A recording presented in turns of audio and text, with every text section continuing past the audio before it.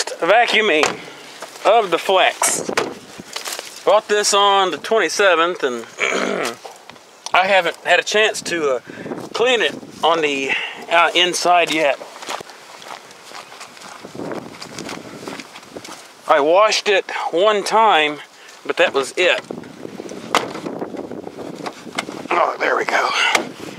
Seats are kind of tough. Uh, I found out that you have to strike. Uh, I folded the seats down the other day and I couldn't get it to flip back up. It took me forever to figure out that I had to flip the seats over, then let them strike back before the seat backs would fold back up. Uh, so anyway, you see, and this is pretty much how it came when I bought it. Uh, I drove it off the lot. It was kind of dirty then. And course it was ready, to, they were ready to move it that day. yeah, well anyway, like I said, we had bickered a lot over that and one thing led to another and I wound up driving it off the lot. But yeah, it's got a lot of dirt it over here and I just hadn't had a chance to get around to cleaning it yet.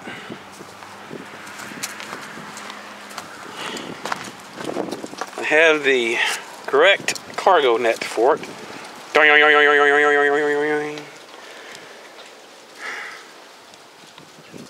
I've mastered the seat flip, by the way. Uh, pull one. Well, I can't do this one handed. Pull one, the red handle, and seat flips forward. Pull two, and you pull this at the same time. I'm going to uh, set you down right here. Uh, maybe I'll set you down over here. And you pull two, and pull the long lanyard, and the seats flip forward. And to flip seats back to the way that they came, you there's a latch in here that you squeeze, the seat flips forward, and you pull number two, and it pulls back. No, I take that back. Pull number one, and seats flip back up. And when I get done vacuuming back here, I'm just going to flip the seats back down again. I don't see me any anytime soon needing to haul passengers back here. All right, it's back to work.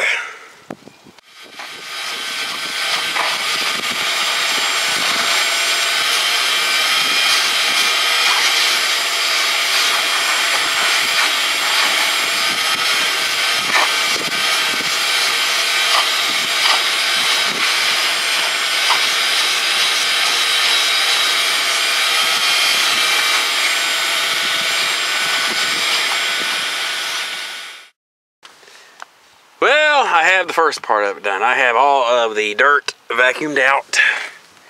There's just a little spot here which I have a hard time getting to with my vacuum cleaner. I had a special attachment that I made that you can get into those places. Oh yeah, I have a cold still because the video that I made last Sunday standing out in the rain, I think is is is the uh, is when I got sick, I think. Um, yeah. Well, anyway, one thing I like is I like how Ford has finally done away with the cloth covered door panels. This is all vinyl, padded vinyl. Uh, huh.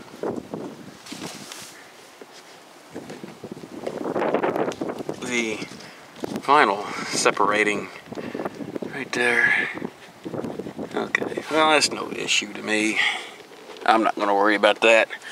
But anyway, they were bad about putting uh, covering the top part of their door panels with cloth. And it would get dirty and it would look really bad after a, little while. My red F-150 not my blue F-150 I've had to scrub the, the upper cloth several times to keep it clean. And this is starting to show a little bit of dirt also. You know I have rolled the windows down this one time since I've had this. No it does not get driven very much I think that I put almost 500 miles on it now. Yeah, I still drive that beast everywhere I go. okay, back to work. I got the flex all cleaned up, washed. But there are some things I've run into that I do not like. And I thought that I would bring this to anyone else's attention who owns a flex. Uh, the doors down here at the bottom. I just washed a ton of goo, dirt, crud out of this bottom door lip. And this whole inside of this door was dirty. I am afraid that you really have to keep that clean, stay on top of this, or otherwise you're going to have problems with this door edge rusting through. Uh, but I think that I've caught it for now anyway. Uh, I don't know, you'd think that the seal down here would stop it, but it doesn't. Because this, all along through here, was dirty also. So yeah, I'm not too thrilled about that design. Also, we have the inner panel and right there is a hole which I can fix that um, right there in the path where it can get dirt and crud and mud thrown in here and cause an inner fender to rust whatever's in behind here I will be fixing that no biggie but other than that uh, I think it's I didn't find any other issues I didn't really like. Uh, of course, same problem back here, you know, it's all, you know, all this mud, you know, there was just dirt uh, thrown up onto this rocker panel. And there was not quite as much uh, dirt on this door edge as there was. See, there's still a little bit of residue right there where I didn't get it all.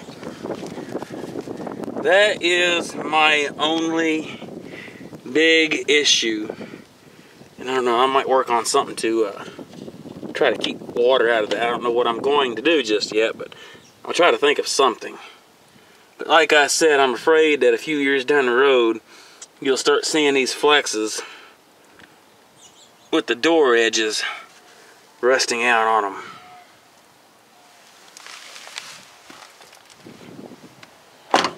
Oh, it's a nice day. It's probably 60, 65 degrees. Yeah, short sleeves. well,